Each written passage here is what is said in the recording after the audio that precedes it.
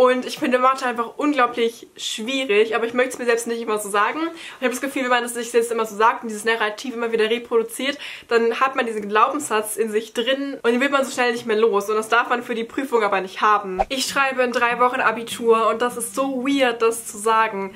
Denn ich habe mittlerweile seit drei, vier Jahren einen Study-Account hier auf YouTube und auf Social Media, wo ich jede Woche meine Lerntipps teile, mich filme beim Lernen und so weiter. Und jetzt einfach dieses Kapitel irgendwie abzuschließen, ist super super komisch. Und auch wenn man das nicht hat, ich glaube, alle, die es hier gerne angucken, machen vielleicht Abitur oder machen das in Zukunft und nach zwölf Jahren fertig zu sein, ist erstmal ein ungewohntes Gefühl. Und ich habe natürlich auch bezogen auf meine YouTube-Karriere hier mich sehr viel mit dem Thema Abitur und Schule beschäftigt. Natürlich gezwungenermaßen auch immer. Und hatte natürlich auch immer so einen Druck da, auf jeden Fall auch gute Noten zu haben, eben weil ich zeigen möchte, dass meine Methoden funktionieren. Und das tun sie, weil ich aktuell einen 1,0 Schnitt habe. Ich glaube, ich habe sogar 0,9 oder so, also es ist wirklich sehr, sehr gut. Ich möchte heute gerne mal meine Gedanken jetzt so kurz vor den Prüfungen mit euch teilen, zumal ich noch nicht mal angefangen habe, so richtig dafür zu lernen, was ungewohnt für mich scheint. Und ich möchte jetzt gerne einfach mal kurz erklären, wie ich mich fühle. Und vielleicht fühlen sich ja einige von euch verstanden, können das nachvollziehen. Und ihr könnt ja auch gerne mal eure Gedanken dazu in die Kommentare schreiben. Genau, ich gehe logischerweise wie alle seit der ersten Klasse in die Schule, bin dann in der siebten Klasse, wie es in Berlin-Brandenburg üblich ist, aufs Gymnasium gewechselt und ähm, bin jetzt seit zwei Jahren in der Oberstufe. Ich mache G8, also zwölf Jahre, hatte vier Qualifikationsphasen, Leistungskurse Englische Politik und ähm, genau, mache jetzt in drei Wochen, in drei Wochen ist meine erste Prüfung, genau in drei Wochen. Da habe ich vier Prüfungen, drei schriftliche, Politik, Englisch, Mathe und mündlich noch Spanisch. Und ich fühle mich mehr oder weniger gut vorbereitet, weil auch wenn ich jetzt noch nicht mit dem intensiven Lernen angefangen habe, muss man sich auch vorstellen, dass man die letzten zwei Jahre nur für diese Prüfungen gelernt hat. Also alle Unterrichtsstunden, alle Klausuren waren ja schon Simulation und Üben für diese Prüfungen. Also man hat die ganze Zeit ja schon gelernt, deswegen mache ich mir jetzt auch nicht allzu große Sorgen vor den Prüfungen. Das heißt, ich weiß, dass ich da wahrscheinlich nicht durchfallen werde, weil ich auch alle Klausuren bisher gut gemeistert habe. Und deswegen, ja, habe ich jetzt nicht eine Panik. Ich bin auf jeden Fall sicher, dass ich da durchkomme, ohne durchzufallen. Aber das wäre auch ein bisschen komisch, weil ja, ich wie gesagt halt einen 1,0 Schnitt aktuell habe und in allen Klausuren noch immer echt gut abgeschnitten habe, weil ich natürlich dafür auch echt viel gemacht habe. Und das ist auch der Punkt, wenn mir das Gefühl, dass ich für alle Klausuren und für die Tests und im Unterricht immer sehr viel gemacht habe. Und jetzt beim Abitur habe ich irgendwie nicht viel gemacht, weil ich hatte jetzt so viel zu tun in letzter Zeit. Also gerade diese letzten Wochen waren bei mir sehr voll mit anderen Dingen. Jetzt gerade auch auf mein Business bei YouTube jetzt bezogen. Und ähm, ich war jetzt auch bei Jugend debattiert halt im Landeswettbewerb und war da auf Seminaren und so weiter. Also war alles ein bisschen stressig und für mich ist irgendwie das Abitur so ein bisschen in den Hintergrund gerückt, was eigentlich komisch ist, weil es immer so in den letzten Jahren so mein Hauptteil meines Lebens eigentlich war, gerade weil ich ja auch diesen Study-Kanal hier habe. Aber natürlich stellt sich mir auch die Frage, wie wichtig ist mein Schnitt dann eigentlich, weil ich möchte ja, wie ihr wisst, Jura studieren und für Jura brauche ich noch nicht mal so einen sehr guten Schnitt, also der NC ist da wirklich nicht so niedrig. Und ähm, ich weiß, dass ich meinen Schnitt jetzt nicht so krass verkacken kann. Wenn ich jetzt 1,0 stehe, dann werde ich auch, wenn ich in den Prüfungen nicht so gut abschneide, also werde ich wahrscheinlich nicht meinen Einserschnitt ähm, ruinieren und damit kann ich auf jeden Fall immer noch meinen Traumstudiengang belegen. Deswegen, ja, muss ich auch ein bisschen priorisieren, einfach zwischen verschiedenen Dingen und mir überlegen, wie wichtig ist mein Schnitt jetzt eigentlich wirklich. Kann ich aber ganz kurz eine Übersicht geben, wie ich auf meine Prüfungen vorbereitet bin oder wie gut ich mich fühle. Vielleicht könnt ihr da ein bisschen relaten, weil mein großes Problemfach ist bei mir wirklich Mathe. Ähm, ich habe ja sonst noch Spanisch mündlich und bei Spanisch fühle ich mich echt gut vorbereitet, weil ich seit einem halben Jahr auch schon Spanisch-Abiturvorbereitung mache. Das heißt, ich habe einen Nachhilfelehrer, mit dem ich auch einmal die Woche so ein bisschen rede, einfach auf Spanisch, um da ein bisschen durchzugehen, um es einfach ein bisschen zu simulieren und zu üben. Und ich hatte in Spanisch bisher auch in jeder Qualifikationsphase 15 Punkte, also eine 1 plus. Fühle mich deswegen eigentlich schon relativ sicher in der Sprache auch und denke, dass die Prüfung da denke ich, also hoffe ich mal, auch auf eine 1 hinauslaufen wird. Dann kommen wir zu Englisch und Politik. Das sind meine zwei Leistungskurse und da hatte ich, ich hatte jetzt in Englisch auch in jeder Klausur tatsächlich 15 Punkte. In Politik war ich auch immer zwischen 14 und 15. Ähm, sprich, da mache ich mir auch nicht zu große Sorgen, was die Methodik angeht. Aber klar, der Inhalt ist immer was anderes, weil es hat man ja wirklich aus vier Qualifikationsphasen den ganzen Inhalt, zumal man ja auch nicht im Unterricht alles gemacht hat. Gerade in Politik ist es bei uns so, dass wir nicht alles geschafft haben und deswegen ja, ich am meisten Angst habe vor dem Thema, also vor dem Stoff, was man da wissen muss.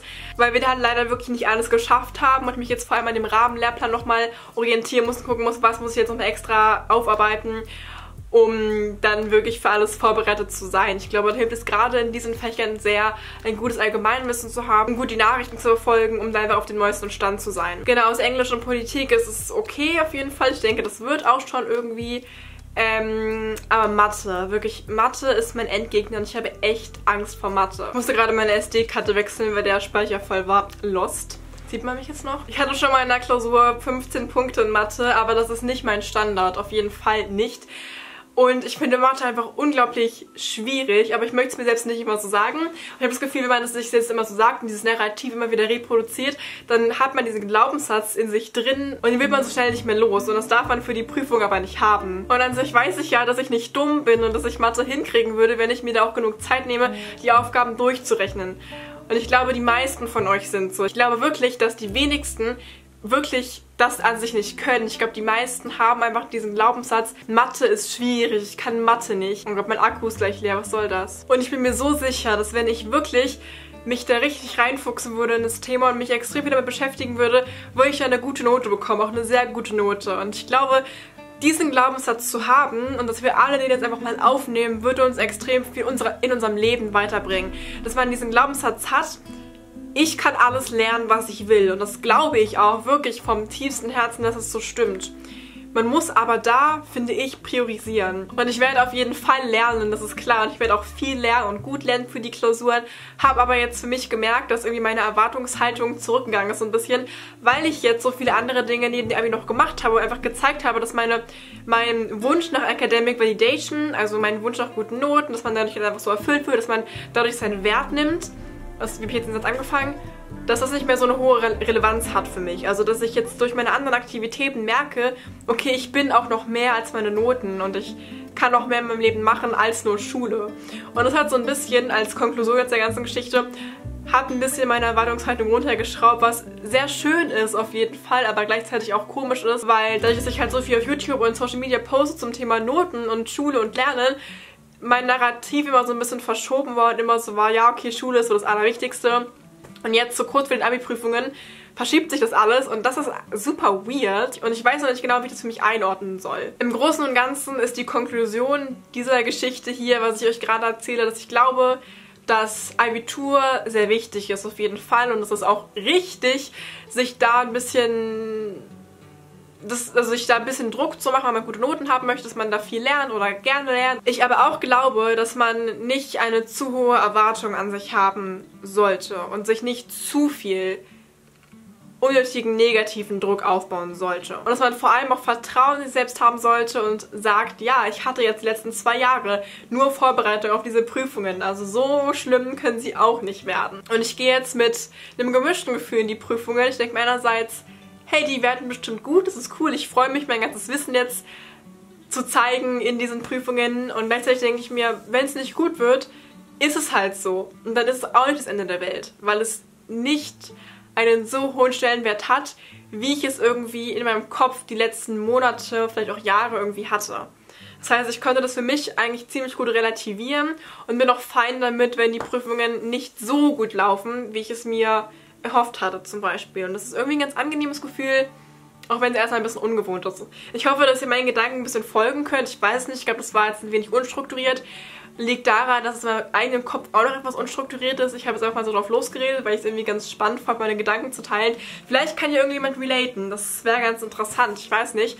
Ähm, ich hatte nämlich letztens auch so ein Instagram Reel und TikTok gepostet, wo ich halt genau die Situation geschildert habe und meinte so, ich war die letzten zwölf Jahre so hinterher gute Noten zu bekommen, habe jeden Tag, nein nicht jeden Tag, aber habe sehr viel gelernt, war super diszipliniert und ambitioniert und jetzt so drei Wochen vom Abi bin ich so, who cares? Und das war witzig, weil ich hatte dann dieses TikTok gepostet und das haben voll viele repostet, auch voll viele so Study-TikToker und so und meinten, dass sie das irgendwie fühlen können. Und das war echt witzig, dass man damit irgendwie nicht alleine ist und dass viele Menschen das ebenfalls zu sehen, dass sie dann, bevor es wirklich wichtig wird in den Prüfungen, irgendwie sich denken, why? Ich werde auf jeden Fall weiterhin hier meine Abiturreise dokumentieren und euch mitnehmen bei allen Sachen und freue mich schon. Natürlich wird auch nach meinem Abitur weiterhin Content kommen zum Thema Lernen und so weiter. Das heißt, falls ihr erst im nächsten Jahr Abitur macht, keine Sorge, mein Content wird sich nicht viel verändern, denke ich mal. Es wird immer noch viel ums Lernen gehen und so weiter, Produktivität, Organisation.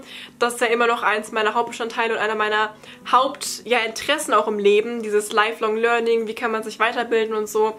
Das wird immer ein Hauptpillar in meinem Content sein, solange ich noch Content mache für euch. Ja, es freut mich sehr, dass ihr mir heute zugehört habt. Das fand ich, das finde ich sehr schön. Und schreibt mir unbedingt mal in die Kommentare, ob ihr das fühlt, ob es euch ähnlich geht, ob ihr sowas schon mal gehört habt, kennt und wie ihr euch jetzt vor allem auf das Abi vorbereitet fühlt oder wie ihr euch generell fühlt. Wäre sehr interessant. Und dann hoffentlich bis ganz bald wieder. Bis dann. Tschüss.